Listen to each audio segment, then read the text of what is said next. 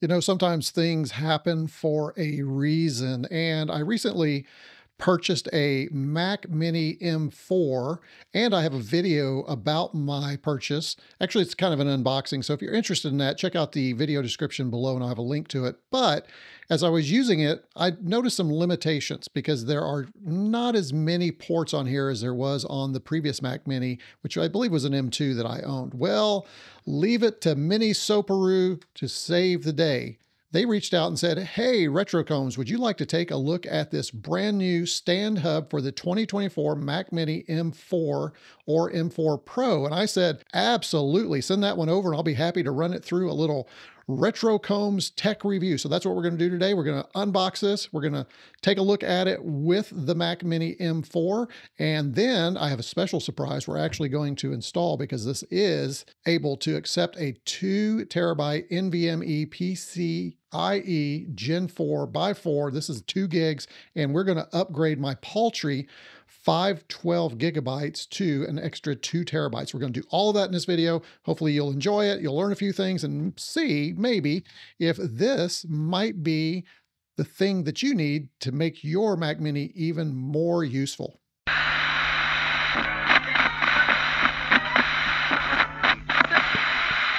Okay, let's start every video like we always do with these new products. Let's go ahead and unbox the Mini Soparoo stand hub for the 24 Mac Mini. You'll notice the little notch right there. A lot of you who have a Mac Mini already know what that's for. Thank you for choosing. Well, thank you, Mini Soparoo, Sopuru, Mini Sopuru for choosing me. Power your storage, Fusion stand. I'm not sure what Fusion stand is. We'll figure that out. All right, looks like we have a little box here, or just actually it's a flap. What do we have here? Oh, there we go. We have our USB-C to USB-C cable, which I'm sure is what we'll use to connect the hub to the Mac Mini M4. Looks like we have some instructions in here. Let's take a look at the instruction manual. We always like to see what's involved with our installation of these types of devices. This looks like it's going to be pretty straightforward. Now, the thing that won't be as straightforward though is I will probably have to review this to see how we get that SSD installed in here. And there's the steps. Use the provided, oh, there's a screwdriver in here. Let's go. Let's check out, where's this little screwdriver? Evidently they even provide a little screwdriver for us. That's a nice touch. Where is that? There it is, folks, right there. Looks like we have a screwdriver and then it looks like we have some thermal paste. Couple screws there, see that? Well, let's set that aside. We'll come back and uh, take care of the install in just a little bit. Let's put that all together so we don't lose it. Let's go ahead and take a look at the hub itself. It's light. Oh, it's got the ring here to keep things from moving around. So we've got some feet on the bottom right here. That'll keep it from slipping. Yeah, that's pretty good. That actually, even on this, and this is a pretty slick surface. That's doing really well. And then our Mac Mini M4 will sit on here. So let's uh, take a look around here. Looks like I have a couple of recommendations. Hey, plug in your keyboard here and plug in your joystick here. Now I use Bluetooth uh, devices uh, for those external devices, so that's gonna be nice. I'll have those free. Looks like we do have SD and micro SD slots. That is a nice addition. Oh, here we go on the back. Oh, this will be nice. And I'll show you my setup a little bit later, but we do have a USB 2.0. We do have our 4K HDMI out and then we do have our connection to the Mac Mini M4. So we're going to take this and go from here to there. But one of the things I really like is having the headphone out of the back. Now, some people wonder why that is. Well, when you see my setup, I have a setup where there are speakers, and in the adapter I have now, I'm having to plug out of the front. And so that'll put that cable in the back. Let's go ahead and take the Mac Mini out of the box and just set it on there and see what it's going to look like before we install the SSD. So we have a Mac Mini. This is actually the Lovely Accountant's Mac Mini M4. I have yet to set it up. Mine is over here, all set up and being used. So this is a great way for me to use her new M4. She's upgrading from an M1. Here is that power button. And this is why this little notch right here is going to be such a nice addition. So if we place this on top, you can see it's designed so that it fits right in there and it doesn't move back and forth. But look, now we can access our power and we don't have to lift it off the table. That is a nice addition. I know some of these hubs have not included that and it's just a hub on the bottom. So that is a nice addition to this particular hub. Hey, that looks really good. What do you guys think? And then to connect, we're going to take our cable here. We'll choose this port here and then this port and then that will be connected. Now, the other nice thing too is you have two HDMI. So if you have dual monitor situation, you can use both of those at the same time.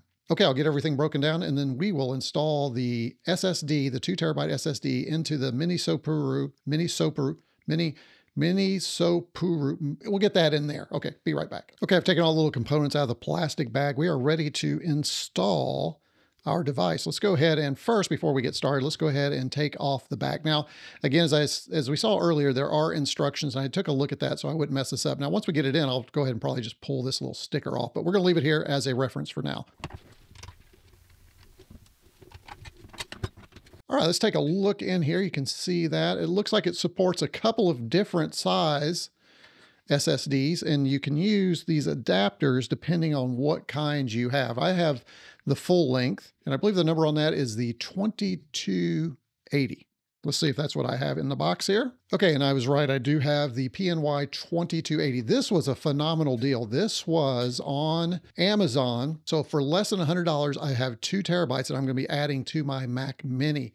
That would cost significantly more if you were to equip your Mac Mini with two terabytes from Apple. Plus, you don't get all the extra benefits of the hub. So that makes this kind of just a great bargain. The two of these together would decrease your cost to get some super sized storage on your Mac Mini M4. Highly, if this works, that, that would be highly recommended. Okay, I'm gonna get this two terabyte SSD out of the box. Let's go ahead and get that done. There we go, PNY NVMe solid state drive. All right, and I'm sure you've seen tons of video online on YouTube where people have installed these. So I'll just go ahead and do that and you can just watch along. Okay, with the SSD inserted into the slot, we're going to use these adapters and the provided screw and the provided screwdriver. Again, very nice addition to go ahead and tighten this down. Now you may have noticed in the bag we had this little piece here. Now what it says is there is a silicone piece here and then this has some sticky on it. So what's going to happen is we're going to pull this blue off. We're not going to put that on the SSD because if we ever wanted to replace the SSD, this would be in the wrong direction. So the silicone part goes down like that. And then what we're going to do is put the top on. And then what that's going to do is adhere that sticky adhesive part for the heatsink to this aluminum part, and that will help release some heat. And since we've got this installed, let's go ahead and remove this little instructions here. Okay, this is aluminum, so it will draw heat away from that SSD for us. I have to clean off some of that adhesive. I'll get that. Yeah, it doesn't really matter. It's not going to show, but probably could have done a better job with that.